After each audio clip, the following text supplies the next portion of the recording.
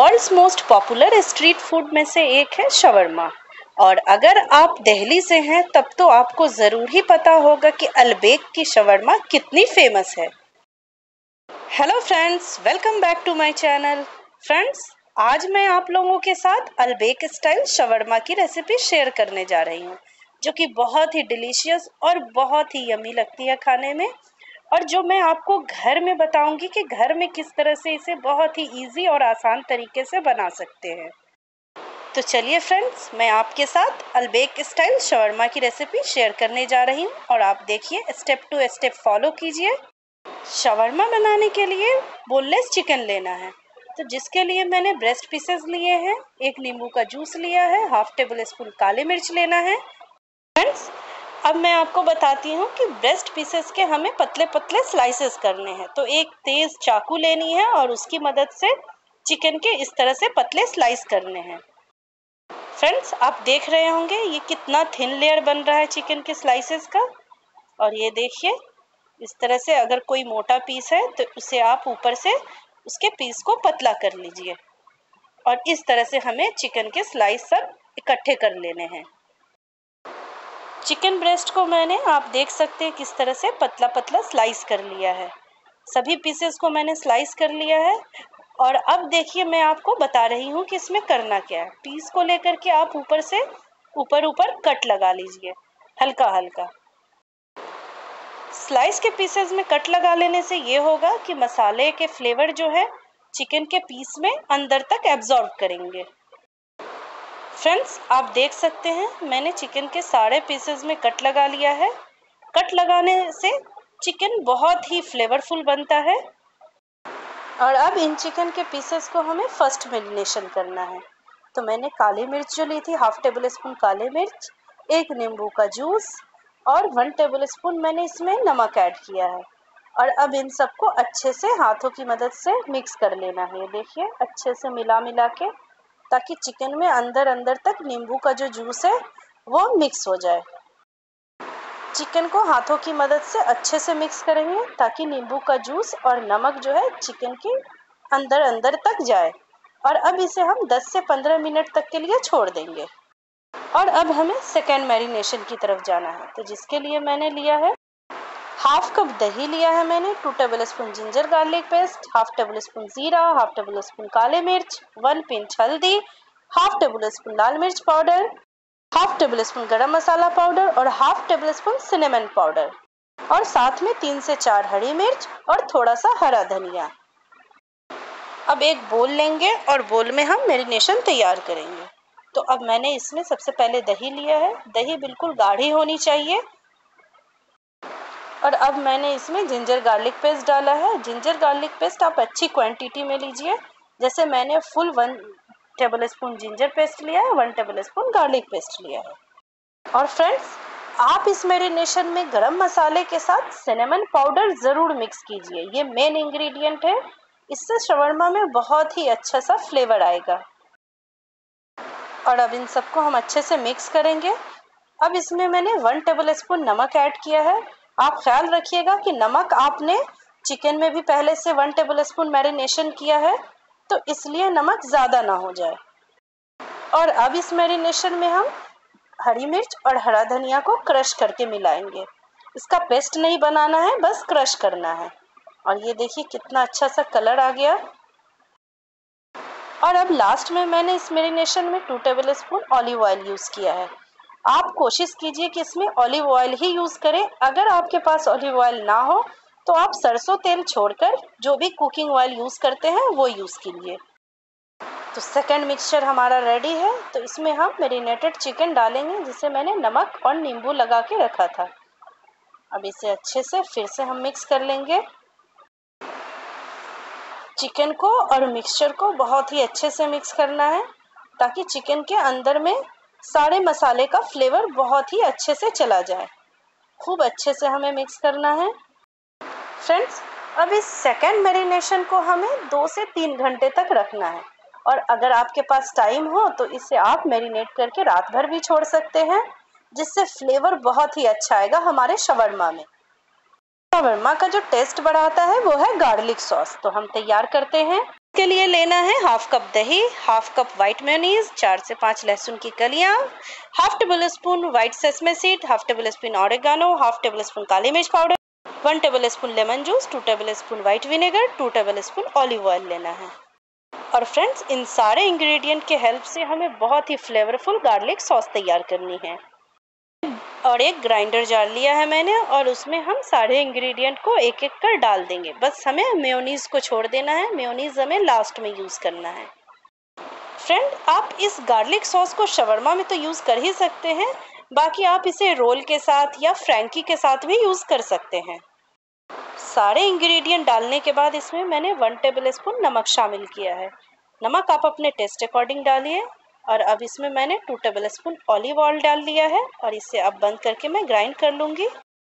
और अब इसमें हमें शामिल करना है मेयोनीज और एक बार फिर मुझे मिक्सर को बस चला देना है। और ये देखिए फ्रेंड्स हमारा गार्लिक सॉस तैयार है। ये रहा हमारा क्रीमी और फ्लेवरफुल गार्लिक सॉस तो चलिए अब नेक्स्ट स्टेप की तरफ़ चलते हैं। फ्रेंड्स शवरमा के लिए अब हमें रोटी तैयार करनी है, जिसके लिए मैंने लिया है 250 ग्राम मैदा हाफ़ कप दही कुकिंग ऑयल और वार्म वाटर इसे हम हल्के गुनगुने पानी से ही गूंदेंगे मैदे में अब हम डालेंगे दही कुकिंग ऑयल और मैंने इसमें वन टेबल स्पून नमक डाला है। नमक आप अपने टेस्ट अकॉर्डिंग डालिए और फिर गुनगुने पानी के साथ इसका एक सॉफ्ट डो तैयार कर लेंगे। गुनगुने पानी के साथ मैदा को गूंदने से ये होगा कि डो हमारी बिल्कुल सॉफ्ट होगी। ठंडे पानी से गूंदने से थोड़ा सा गूंदने में भी दिक्कत होती है और टाइम लगता है गूंदने में। और ये देखिए, फटाफट ये डो हमारी रेडी हो रही है। फ्रेंड्स, जब भी आप आटा गूंदे तो थोड़ा थोड़ा पानी यूज़ करें ताकि आटा गीला ना हो। और जिस प्रोसेस से हम रोटी के लिए आटा गूंदते हैं, बस वैसे ही हल्का हल्का पंच करके हमें आटा गूंदना है। और ये देखिए, आटा को गूंद लिया है मैंने और इसे इस तरह से समेट कर मैं एक डो बना लूँगी और इस बड़े से डो के ऊपर अब तेल लगा लेना है और तेल लगाकर अब इसे हम रेस्ट करने के लिए छोड़ देंगे आधे घंटे के लिए। चलिए फ्रेंड्स, अब हम नेक्स्ट स्टेप की तरफ़ चलते हैं। तो मैंने ग्रिल पैन को गर्म कर लिया है।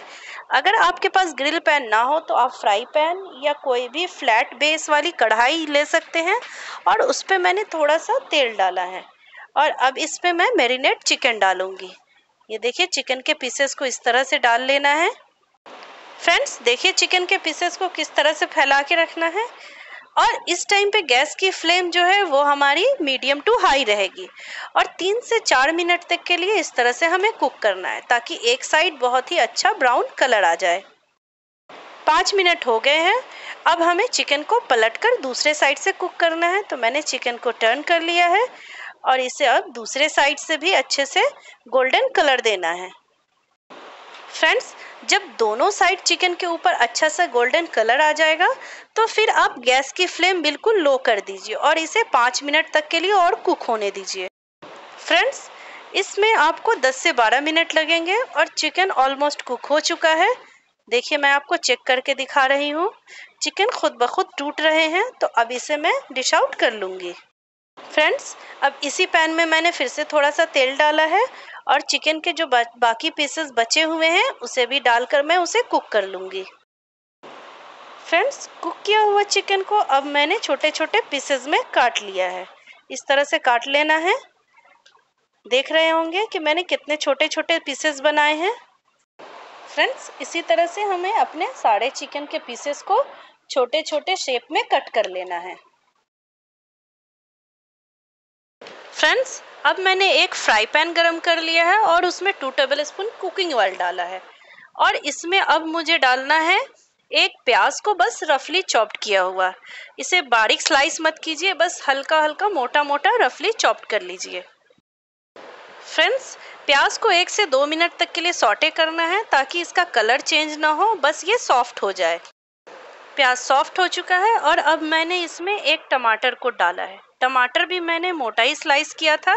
बस इसे एक से दो मिनट तक टमाटर भी सॉफ्ट कर लेना है।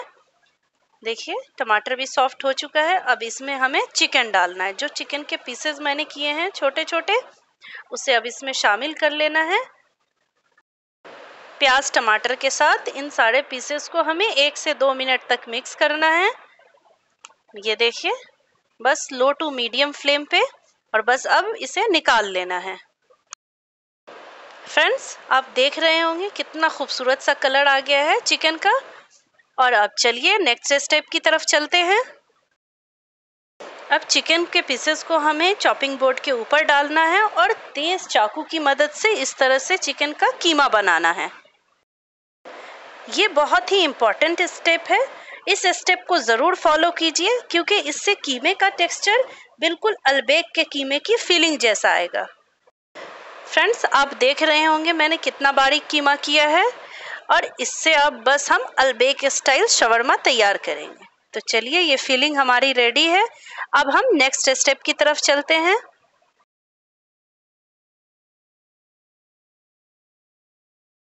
फ्रेंड्स अब मैंने जो मैदे की डो तैयार करके रखी थी, इसकी अब रोटी बना लेनी है। इस तरह से बस, जिस तरह से आप नॉर्मल आटे की रोटी बनाते हैं बस हमें एक प्लेन रोटी तैयार करनी है।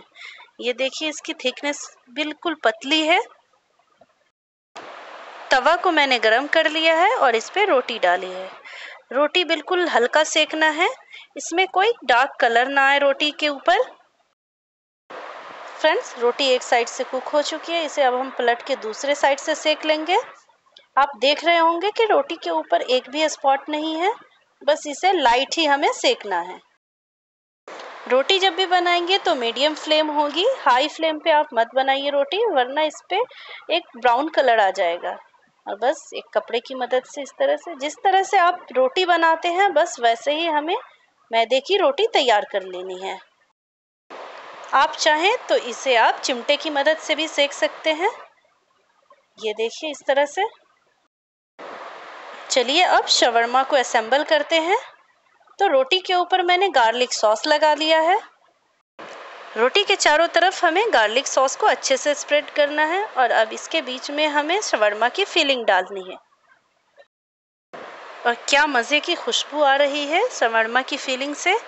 अब इसके ऊपर मैंने थोड़ा सा और गार्लिक सॉस डाला है। सॉस आपके ऊपर है, आप जितना यूज़ करना चाहें उतना कर सकते हैं। जितना क्रीमी आपको पसंद हो, शवरमा। और इस तरह से हमें फोल्ड करना है। और ये देखिए मैंने कैसे फोल्ड किया है। ये देखिए शवरमा का रोल तैयार है। अब इसे हम बीच से कट कर लेंगे और पीसेस बना लेंगे इसका। और फ्रेंड्स ये देखिए हमारा गर्मा गर्म अलबेक स्टाइल शवरमा रेडी है। तो चलिए इसे हम गर्मा गर्म सर्व करते हैं। फ्रेंड्स आप इस अलबेक स्टाइल शवरमा को घर में ज़रूर ट्राई कीजिए और देखिए ये कितनी टेस्टी और कितनी ही डिलीशियस लगती है खाने में। फ्रेंड्स अगर आपको हमारी ये रेसिपी पसंद आई हो तो प्लीज़ इसे शेयर कीजिए अपने फ्रेंड्स के साथ।